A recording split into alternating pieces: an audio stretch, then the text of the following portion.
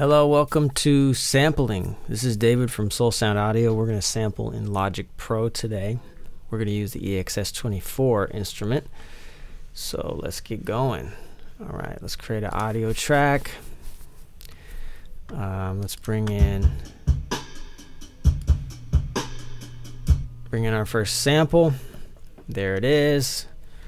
Um, we can hit W to bring up the wave editor check out where the transients are at. Looks pretty okay to me. All right, and we're going to hit Control E to bring up convert to new sampler track. Okay, ready? Make sure it's selected. Control E. We're to go from transient markers, starting at C1, call it what you want. One shot zones means when you trigger it, it'll play all the way through instead of being able to trigger release and play just parts of the sample. So we're going to leave it right there. All right, here we are. So it gives us uh, a sample for each transient. Here it's on the 16th note. All right, we can play it. We can slow it down, speed up. That's kind of what what's happening when you use slicing to speed stuff up and slow stuff down. Um, so we've got our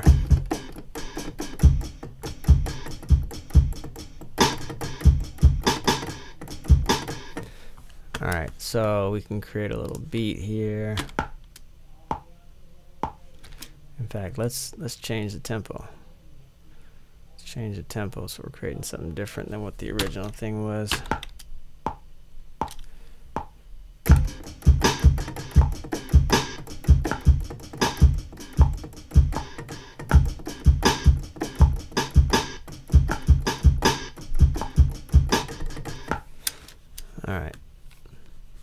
Great. Now, also, if you want to do something different, you can create,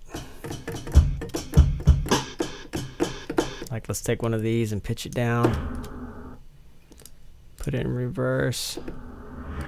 All right. So, we're going to do something different. We're going to create.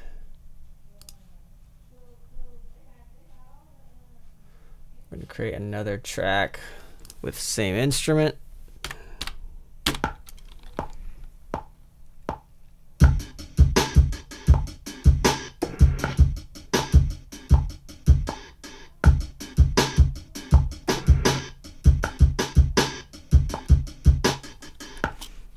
All right. There we go. All right, and then we can just grab another sample. Let's check out where these transients are at because it's not a very transient thing. So it looks like, in fact, let's just mute that region.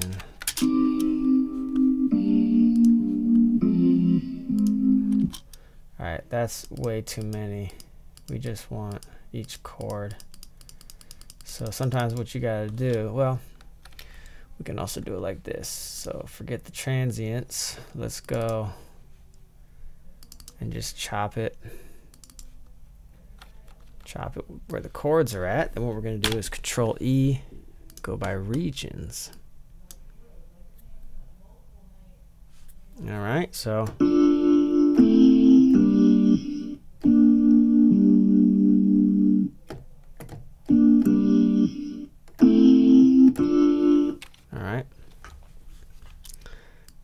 Think the tempo shift is messing with it a little bit. That's probably what's happening.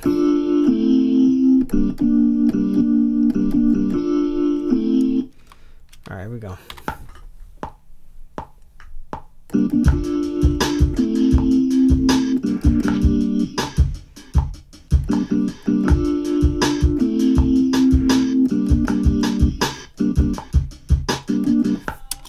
All right. Here we go. So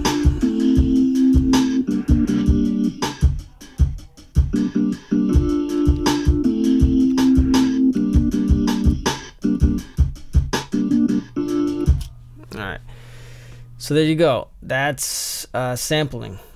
And of course we can go in And if we want to change some of these, we could, for example, copy this one, option or um, Command C, Command V. All right, and then we can we can create our own thing here.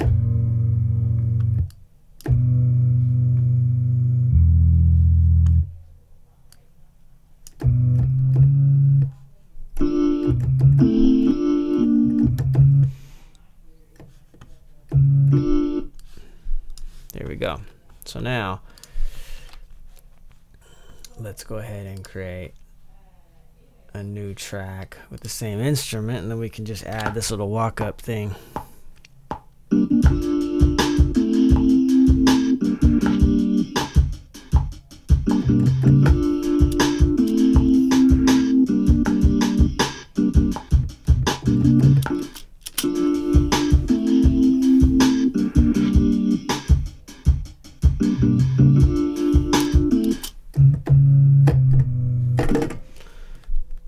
Pretty cool. So that's it.